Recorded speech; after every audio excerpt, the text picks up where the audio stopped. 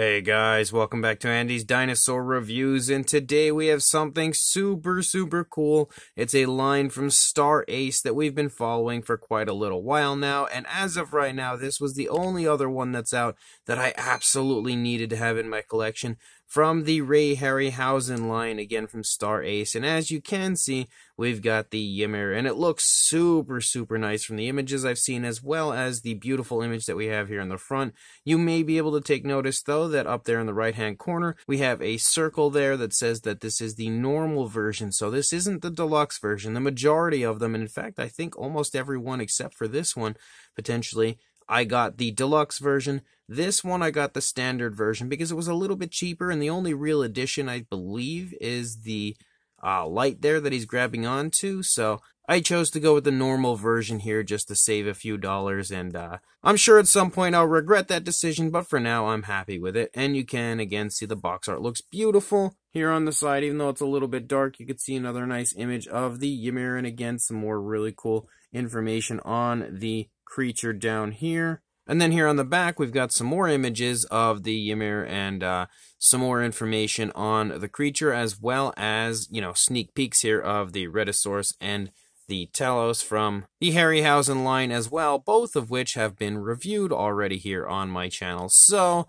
I've actually had this here for a little while now. I just haven't had time to get it up for review or even open it, so I'm very excited to do just that. So let's pop it out of the box right now. So first of all, we do have kind of like a little stand here. You can see that again, we have the Harryhausen 100 years uh, logo right here with various different Harryhausen creatures and creations right there. And then you've got like a nice little rocky area, kind of like an earthy area that uh, maybe like the road, I think potentially that has been torn up, as well as an area that obviously has the footprint for our Ymir. And then we've got the model itself, and just like I expected, well, that fits in there very nicely, but just as I expected, it is huge. Pretty much, again, what you would expect from one of these Star Ace releases because they've all been very sizable, making them even more impressive and this one is absolutely no exception. Such a beautiful looking model. I really think Star Ace has gone above and beyond to give us some of the coolest Harryhausen models that have ever existed.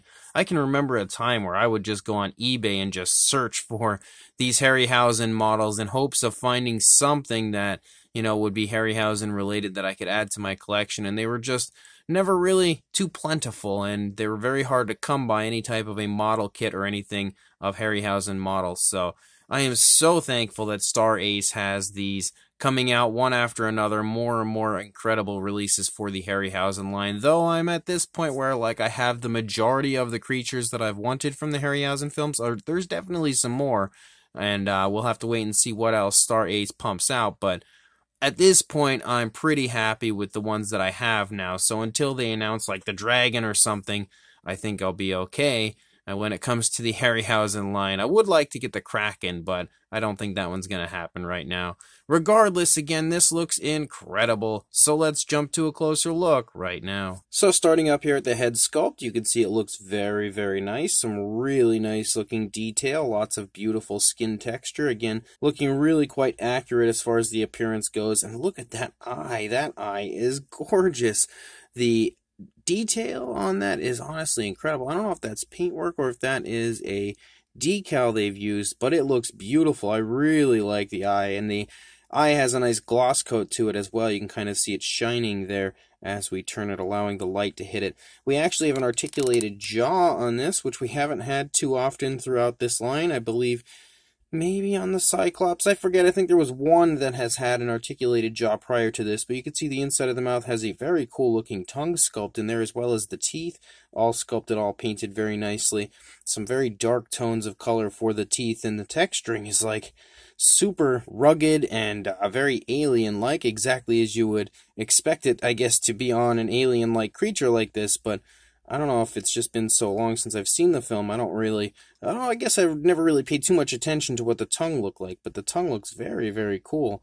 And uh, the inside of the mouth also sports a nice gloss coat. The teeth are painted really nicely. They as well have a nice gloss coat. And on top of having kind of like an off-white type coloration, I can see kind of like a wash that's been applied to them.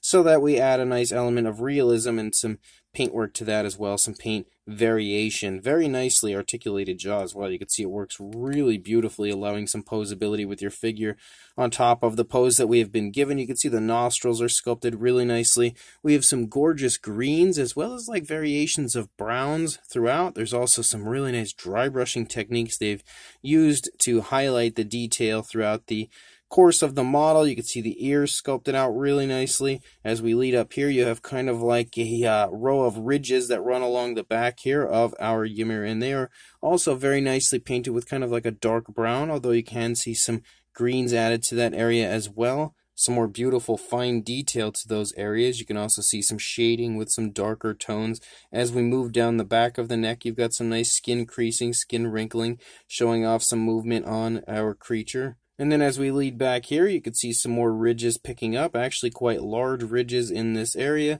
Again, some more fantastic looking, very rough and rugged looking skin texture throughout the course of this, and some more beautiful paintwork. You can see they have added a lot of really nice coloration throughout the course of the model. You've got some nice muscle definition moving down, and I like that they've highlighted the muscle definition like they've uh, very nicely darkened the color around the muscles there. And then as you move down, you've got a few more ridges kind of hanging off of the back of the arm, some scutes running down the arm right here to kind of give it a little bit of an armored-like appearance, a little bit more ridges right there. And then as you move down into that hand, the hand looks super, super cool with those three digits. Me try to turn this without beating the crap out of the camera. And you can see the nails are painted really nice. As we actually have variation of color. I could see like some kind of like yellowish tones, some brownish tones, and even greenish tones within the nails. And the nails also have a nice gloss coat to them, which is nice to see. And it's really hard to get a good angle there. We can see another angle of the hand. These models, again, are quite large, so they are a little awkward to review in such a small space. But as you continue to move down, you can see that those ridges decrease and then pick back up, and they have kind of like some separation in between a few different areas right there before picking up into some smaller ridges running along the back of the creature. They almost look like uh, like fins running down the back of the Ymir. And uh, again, some more beautiful paintwork, some more beautiful skin texture throughout. It's kind of covered in these bumpy sort of uh, almost like osteoderm like scales throughout, which looks really nice. And you can see if we get nice and close, there is quite a bit of paint application added to it. They've done a good job of adding like a wash to it, as well as, again, some nice dry brushing to highlight that detail perfectly throughout. And then as you continue to move down here through the course of the tail, one thing that is nice is that there's no uh, parts that you have to connect like some others you, like the Rhedosaurus, for example, I had to connect the tail.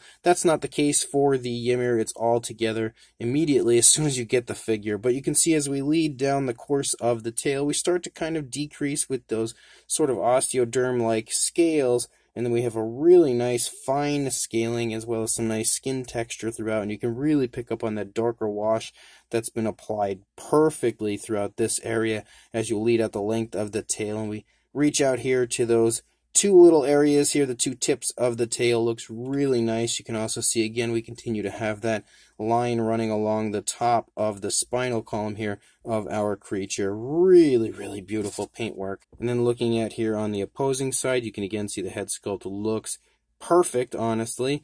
And uh, again, that eye paint looks great. But as you lead down here, you can see more of that wrinkling and creasing in the neck down here in the throat region as well. Some more dark tones, just really nice subtle additions to the paintwork here.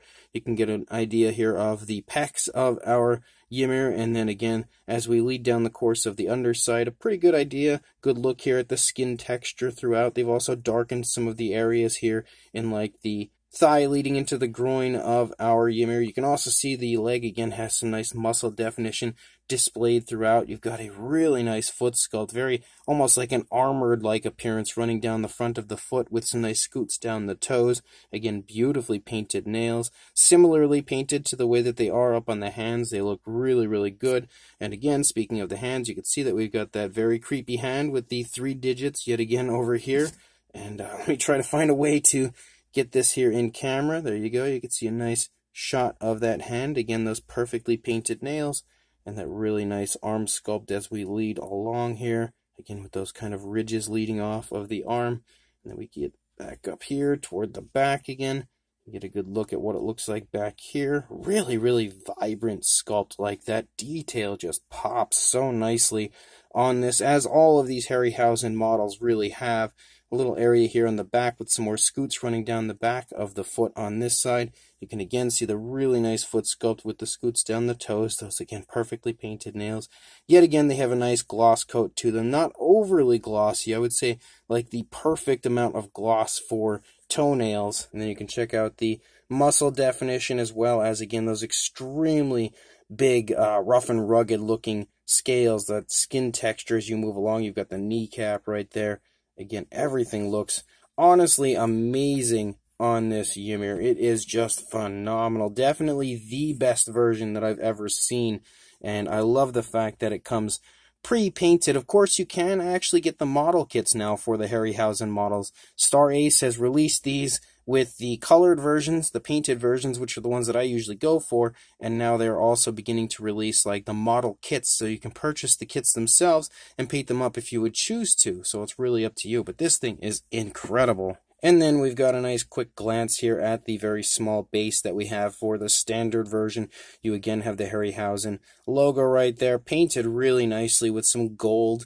And uh, again, as you move through, you can see the road kind of busted up and everything, all cracks and everything. Really nice paintwork for this as well, as you have some nice grays as well as a dark black wash that has definitely highlighted all of the details here of the road for the, I guess you could call this the base, just this little extra, and again, that footprint there to put the foot into. And then here on the underside, you can again see Ray Harryhausen's Ymir, and then it is produced with the permission of the Ray and Diana Harryhausen Foundation, and then yet again, the Star Ace logo. So I would say this is easily just as impressive as all of the other Harryhausen models that I've taken a look at from Star Ace so far. Absolutely killing it is exactly what they are doing with this line. And as you can see, even though this little piece of the earth here definitely makes for a nice addition to the model, it isn't necessary. You don't absolutely need it for the model to stand. It stands perfectly without that piece, especially since it's in a tripod position with the tail touching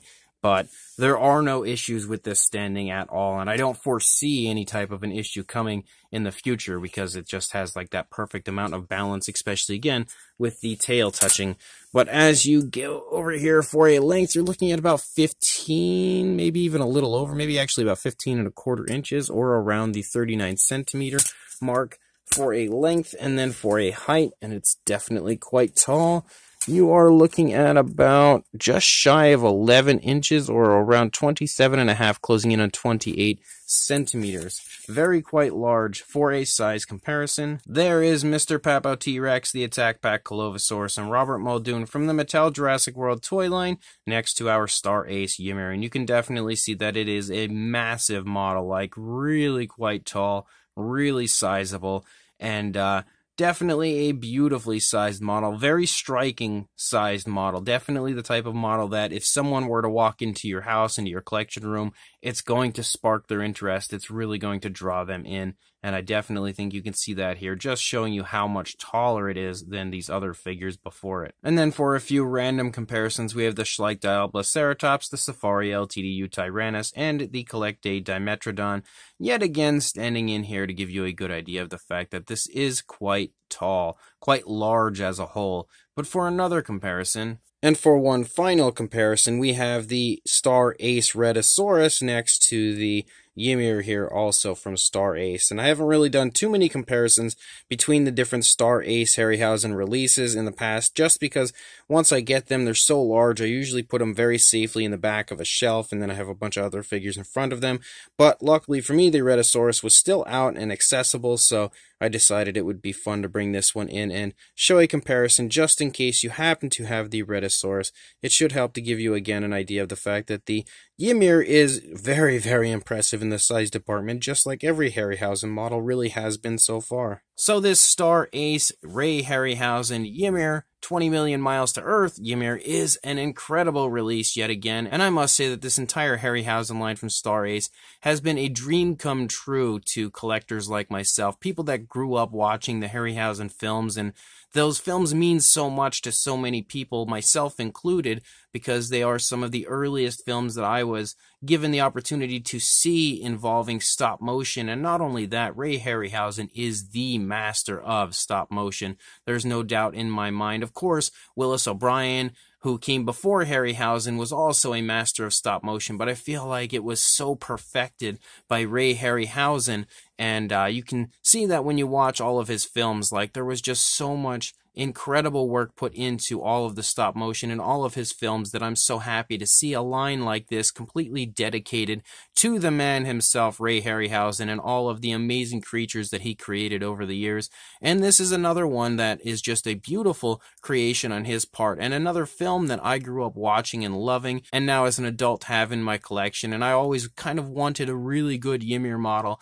And again, it's another instance where there just weren't really all that many out there, or not that many that are accessible. So unfortunately, I never had the pleasure of adding one to my collection until now. And again, Star Ace has really delivered on this version, giving us a beautiful, very screen accurate, as far as I can tell anyway, sculpt that perfectly replicates the Ymir from the film. And on top of that, we've got a really nice pose for our Ymir standing here kind of like turned slightly to its left, pretty much exactly as it's kind of displayed in the film, almost looking a little frightened, kind of panicked, and that's sort of like the way that it appears through the majority of the film. So it creates that very nice pose that looks like it is basically like a screenshot from the film. On top of that, the paint job is phenomenal. They have added so many really nice different tones of color throughout, making sure that it looks as lifelike and realistic as possible. On top of that, they've added in very nice areas of like gloss coats for the eyes, the mouth, the nails, and I like that the gloss coat for the eyes and the mouth look like they're not like the exact same gloss coat they've used everywhere. Like the mouth has that saliva like look, the eyes have that nice wet look, but there's also a gloss coat for the nails, but they're not as glossy as the other areas. They're more like glossy like you would see on nails. So they did a very good job on top of everything when it comes to the realism aspect of the model as a whole. So yet again, this is another for sure recommendation from me. If you have been collecting the Harryhausen line, I feel like this model is just as much of a must-have as every other model that I've had the pleasure of taking a look at here on my channel and another one that again is a massive recommendation from me. So I will include a link in the description to where you can purchase this model for yourself. So make sure you check that link. Go grab this model before it sells out because I believe these are limited editions so it won't last forever and you definitely don't want to miss it. So grab the model again through the link in the description and make sure you also like comment and subscribe and I will see you in the next review. Thanks for watching